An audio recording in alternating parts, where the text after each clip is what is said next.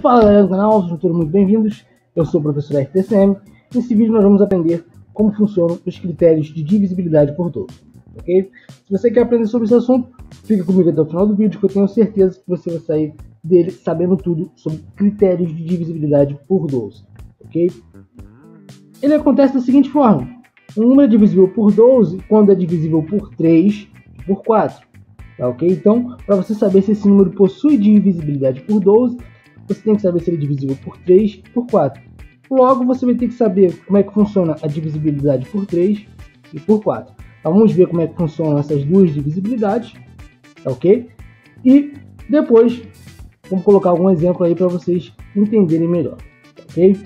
Então, ó, número divisível por 3 quando a soma dos valores absolutos dos seus algarismos for divisível por 3. Né? Quando você pega um número soma todos os algarismos o resultado dessa soma der um número divisível por 3, significa que ele possui divisibilidade por 3. Okay?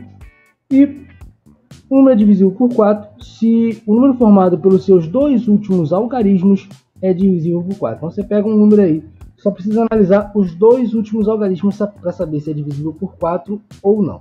Ok? Então vou colocar alguns exemplos para a gente ver como é que funciona isso e descobrir quando um número é divisível por 12, ok? Antes disso, vou te pedir duas coisinhas. Se inscrever no canal se não for inscrito e deixar aquele like esperto, ok? Vai estar ajudando demais a gente aí no nosso trabalho. Valeu? Fez isso? Então vamos lá para os exemplos agora a gente ver como é que funciona. Tem aqui alguns exemplos, né? Temos o 540 e o 723, tá ok? Então vamos testar eles dois aí, colocando em prática o que a gente viu no slide anterior. Então, ó, Primeiro preciso saber se ele é divisível por 3, né, o 540. E depois teste se ele é divisível por 4. Se der divisível para esses dois, significa que é divisível por 2. Então, ó, como é que funciona a divisibilidade por 3? É somar os algarismos. Né? 540 tem 5 mais 4 mais 0. A soma disso vai dar 9. E 9 é um múltiplo de 3, logo 9 é divisível por 3. Então, 540 é divisível por 3, beleza. Agora tem que testar para ver se ele é divisível por 4, não. Vamos lá. Ó.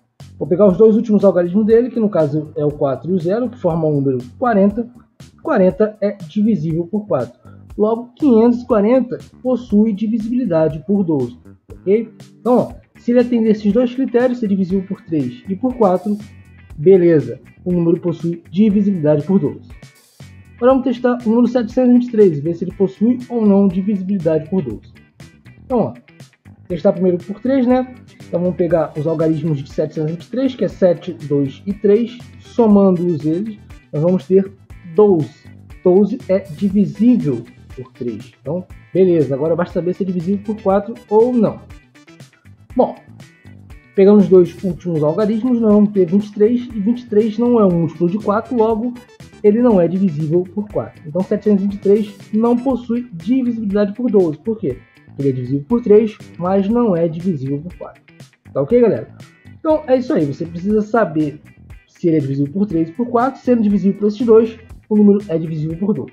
Ok? Bom, espero que eu tenha ajudado vocês. Se vocês tenham gostado do vídeo, posso deixar aquele like esperto, se inscrever no canal, ativar o sininho das notificações para estar recebendo aí os próximos vídeos. Ok? Forte abraço a todos e até a próxima. Valeu!